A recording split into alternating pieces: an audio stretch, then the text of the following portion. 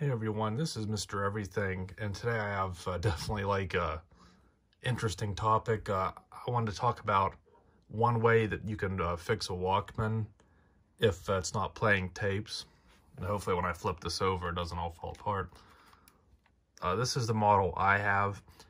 Walkmans are kind of like a neat thing. Uh, obviously, almost all the time I just listen to music. Now, I mean, streaming, it's pretty good quality now or mostly using uh, Bluetooth earbuds anyway, so it's not like you need the highest quality because your whole set's not that good. But there's one thing I like with just an uh, analog tape. You kind of get that warmth almost like vinyl. And uh, yeah, I used to have like a little uh, cassette shop and it'd be like a few dollars and you could find some nice cassettes. So it's hard to find a Walkman anymore unless you can find a new one. And the common problem is the tape, again, doesn't work. But a few other things, like the volume wheel gets really scratchy. Or there'll be like some zones where it'll go to like mono. And there might be a way you can clean it while it's like this.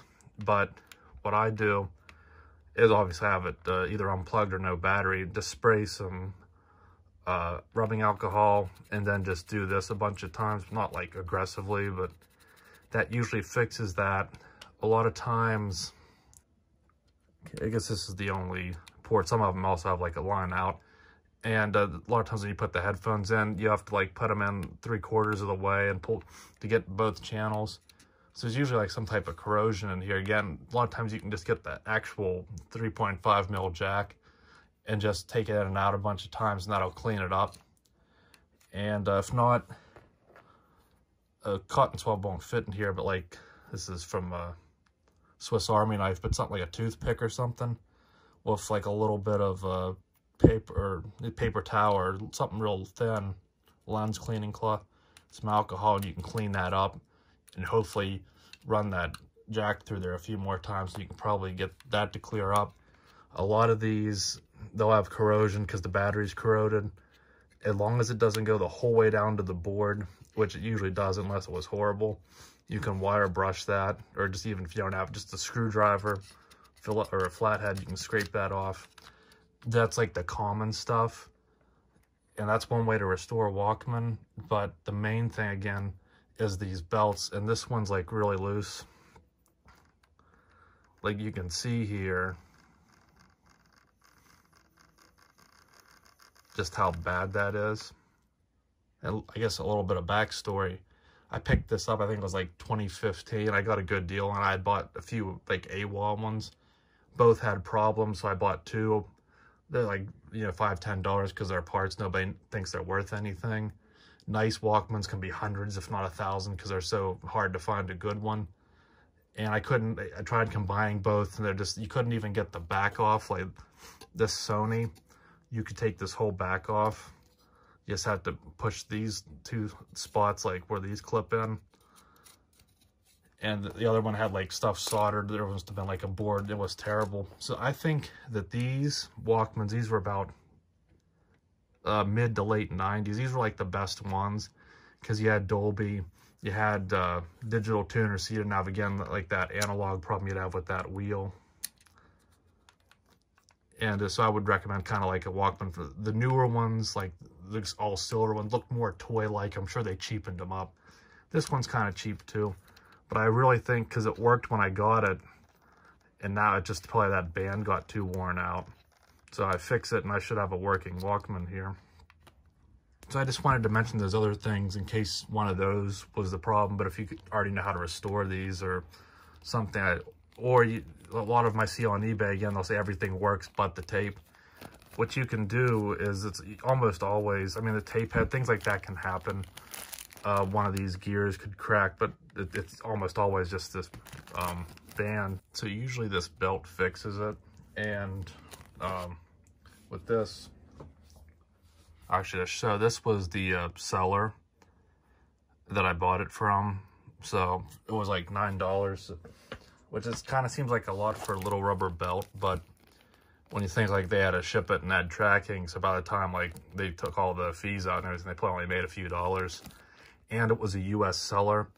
Uh, I had looked years before, and the only ones you could find were like Portugal or Romania or something.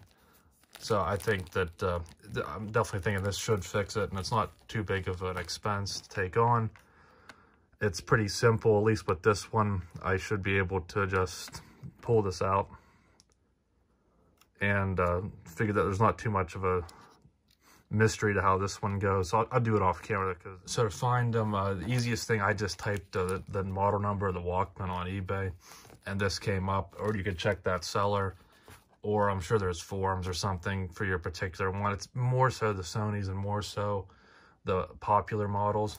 But I really think that most of the stuff's probably, because they said this belt covered like multiple different ones.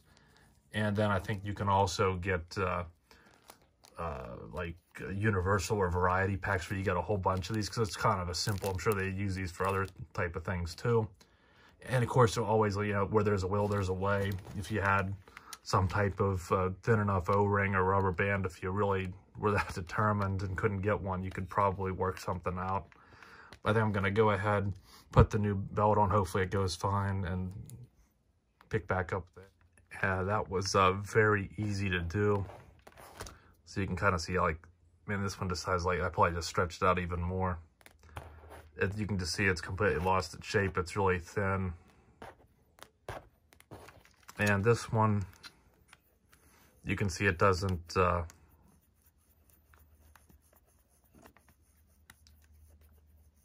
flop around. There's a lot more tension on it. And I can already tell, like, that's definitely going to fix it. And uh, I already know that it's going to work because, again, it worked years ago, and I knew that was the weak point.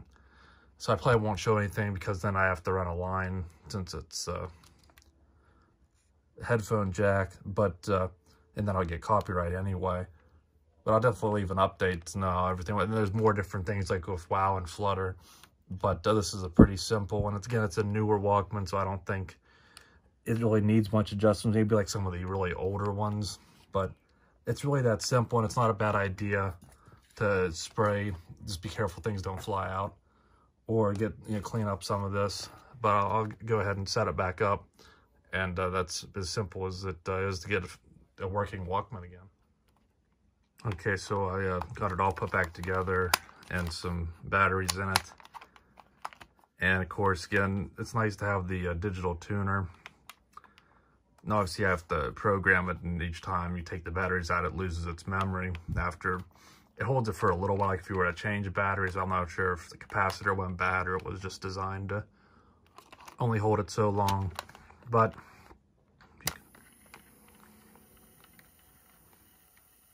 now, obviously, it changes when there's an actual cassette. It puts a little resistance but I'm really pushing down on it. And I can feel that it's still moving at the same speed. Don't know if you could hear it, but I was really putting some resistance on it. I mean, before it would just come to a halt when you put a little bit of tension on it. I'd actually, I'd have to dig my cassettes out there in a closet because again, it's easier to stream music, but you can see there it is. It's fixed. Uh, one thing you can do still is clean, like the capstans or whatever they're called, the rollers, and the tape pad, just a Q-tip very gently, some rubbing alcohol. But really, it comes just comes down to that belt. So if you can get uh, to that easily and at least look at it, and if that's what it needs, get one, and that's great. Um, I'll let you know in an update when I put a cassette in if it wouldn't work or it sounds terrible, but it sounded good before, and that was like a 20-year-old belt, so if a brand new one, uh, at this point, watch it like it outlast me or something, but it's decent, and uh, I'll probably really ever use it, but it'll be nice that now if I do want to use it, it's ready to go. So let me know if that can help. I know it won't cover everything. There's other issues at times with Walkmans, but if it just it won't play uh, cassette tapes, that could be what it is. So uh, thanks for watching, and you'll see me in the next one. Have a good one.